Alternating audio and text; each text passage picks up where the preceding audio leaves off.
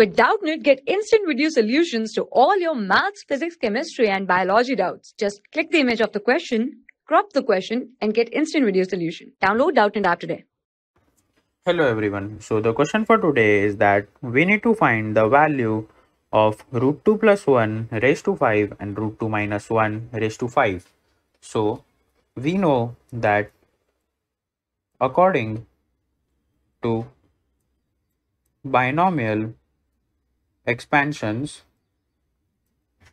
we know that x plus y raised to 5 can be written as 5c1 x 5c0 x raised to 5 plus 5c1 x raised to 4 y raised to 1 plus 5c2 x raised to 3 y raised to 2 plus 5c3 x raised to 2 y raised to 3 and goes on till 5c5 x raised to 0 y raised to 5.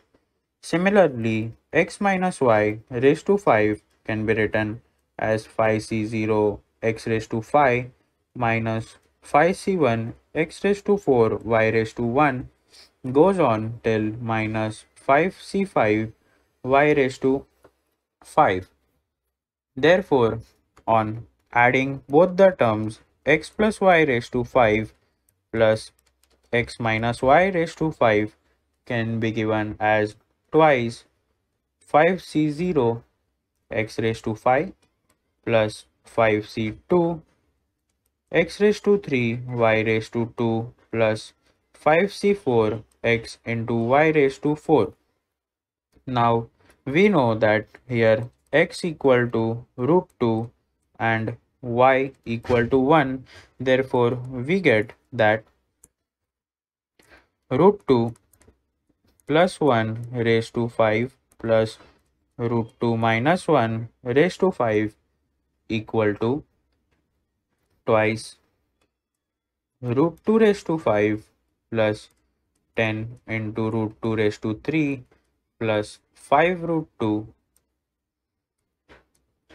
Therefore, the final value goes as 58 root 2. Therefore, the value of the given form term is 58 root 2 which is option number 2. For class 6 to 12, IIT JEE and NEET level. Trusted by more than 5 crore students. Download Doubtnut app today.